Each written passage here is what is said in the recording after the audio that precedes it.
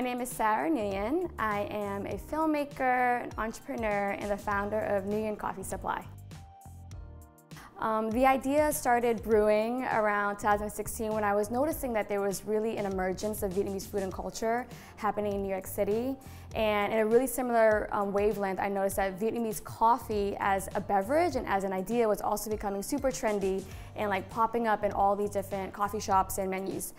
However, the more I looked into it, I realized that it was actually really hard to find actual Vietnamese coffee beans anywhere in New York City or on the market. People were using different types of coffee beans from all around the world and preparing it in a way that was inspired by Vietnamese coffee, usually by adding a little condensed milk, usually by using a dark roast, um, and then calling it Vietnamese coffee, but the core ingredient itself, Vietnamese coffee beans, wasn't really available.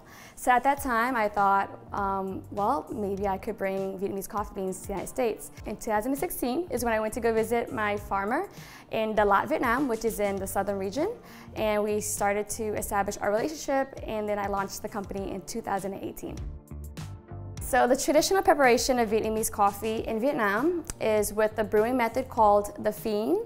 I like to describe the Phin as like an intersection between a French press and a pour over method because we have the pour over with the hot water entering the brewing method and then we have the gravity pull of the extraction of the beans and then we also have the immersion like a French press. However, the gravity is not as quick as a pour over and the immersion of beans is not as long as a French press.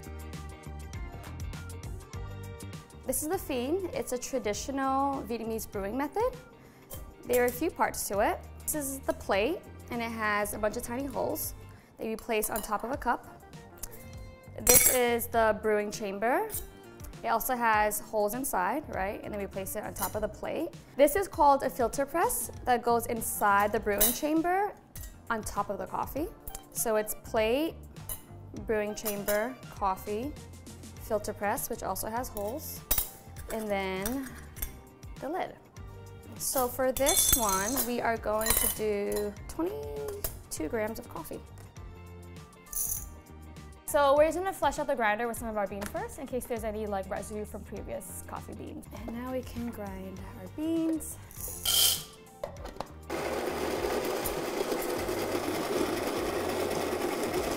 So what we're making today is called a café sữa đá in Vietnamese, um, which means Vietnamese coffee with condensed milk and ice. So I like to use 0.5 ounces of condensed milk. Just enough condensed milk to complement the coffee. I don't want to mask the coffee beans. I feel like Vietnamese iced coffee as a beverage has a reputation for being too sweet in America, um, which is unfortunate, and that's really just a, a reflection of the preparation. But if you're using really good quality coffee that's fresh roasted, you don't want to mask the coffee, right? So in our R&D, I figured that um, half an ounce works well. So now we're gonna put the plate on top and then, and then we're gonna tare it out. We're using 22 grams of coffee, ground at a fine setting.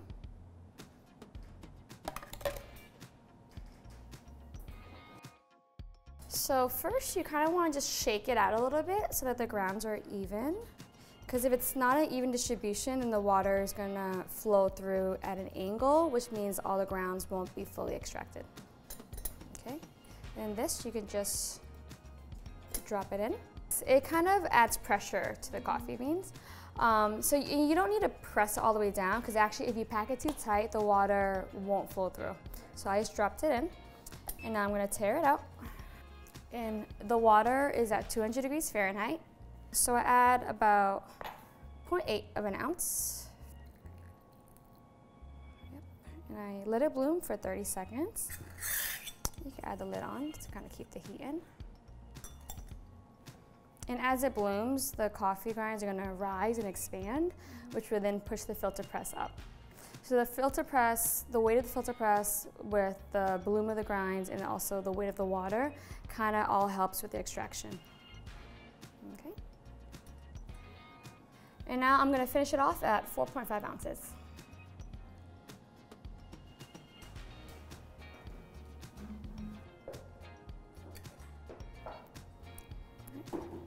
I'm gonna let it extract and then wait for it to, um, to drip.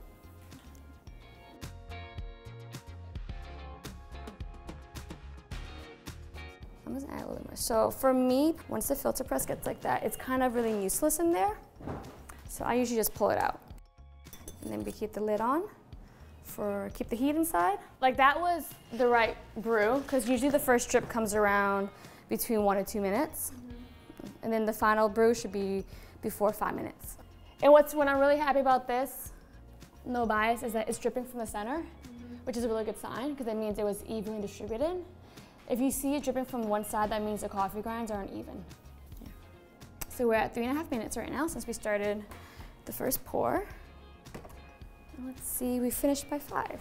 In Vietnam, this is called, this whole set is called Café Phin, which is coffee brewed through the phin, Café Phin. But in there are different variations you can have it, which is Café Đen, which is straight black, so no condensed milk. Um, Café Sữa, which is black with condensed milk, but it's hot. And then Café Sữa which is with ice, right? So people could actually drink it like right now if they wanted a hot coffee. Um, but I'll ask our guests how they like to try it. So fun little trick with the Phin is that the cap becomes coaster. So you flip it, and you place the whole thing on top so that it catches any other leftover drips. Do you want to do the honors? Oh, sure. Okay. You just, just stir it up.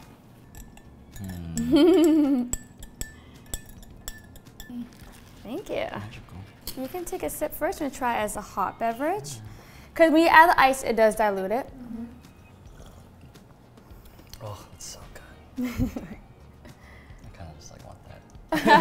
Arthur, do you want to try some? This is with condensed milk. So I have to be honest, so my brew ratio of 22 grams to 4.5 ounces of water is a little different from how folks would do it in Vietnam. Mm -hmm. The final yield, as you can see, is about like four, 3.5 ounces. In Vietnam, it's actually much more dense. So they might do 22 grams, so maybe like three ounces of water. So they like it really, really thick and dense, right? All right, can we get a cup of ice? You can try it with sure. ice. All right, Artie, you first this time. Yes. Swirl it around. Yeah, swirl it around so it cools down a little bit. That's delicious. Not sure what I prefer. I have them both. Yeah, me, yeah, it depends on the day. Yeah. Hmm. Hot or cold? No. I like the hot a lot. It's mm. so comforting with the condensed milk. Yeah. yeah. So our filter is always this tiny because that's really nifty, but right. I imagine there's also larger versions. Yeah, no, this is, there are lots of different sizes for the Phin. This is a small one, so yeah. it's perfect for a single brew. It's about four ounces. And then they also have sizes that are like six ounces, eight ounces, 10 ounces, or even 40 ounces. Enough to feed a village. Yep, yes, exactly. I had a question. Yes. So I once had a Vietnamese coffee with um, homemade coconut condensed milk. Yeah. Yep. Is that traditional or? A coconut coffee is really traditional in Vietnam. Right, there are lots of right. different ways to do it. We're actually going to make a version today. Oh, great. Yeah. so now we're going to build like the coconut milk base of this coffee. We have condensed milk, 0.5 ounces. Um, now we're adding two ounces of regular milk. And then we're gonna add two ounces of coconut milk. So in this bowl is a can of coconut milk that we just whisked.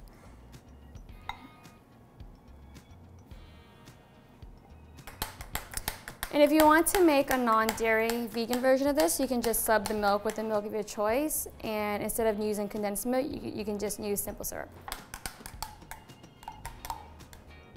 This is one of my favorite preparations of coffee, the coconut coffee, because it's really not too sweet. And it's really important that when I share recipes um, with Vietnamese coffee, with Nguyen Coffee Supply, that we don't overpower the coffee with sweetness or sugar. The only sugar coming from here is from the 0.5 ounces of condensed milk. And then it's just all natural coconut milk. Oopsies. All right. So cap becomes coaster. Grab the plate.